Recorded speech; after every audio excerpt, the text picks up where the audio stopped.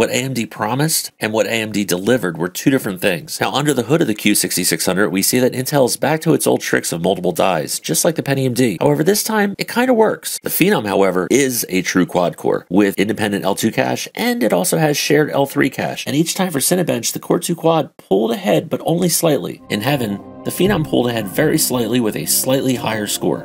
So both performed about the same. Now with superposition, I found this interesting. The load times for the Core 2 Quad were terrible. I ran this multiple times, rebooted, and even troubleshooted to make sure there wasn't some background process that was causing problems. But no, the Core 2 Quad took nearly 30 seconds longer just to load the benchmark. This was using the same RAM, drive, and Windows image. In GTA 4, the frame rate seemed about the same at first, but the one thing I immediately noticed was how the game felt on the Phenom. There was no contest. The Core 2 Quad felt forced, like it was struggling to keep up and it really wasn't interested. The Phenom was super fluid, near instant control response, no lag. This just felt better.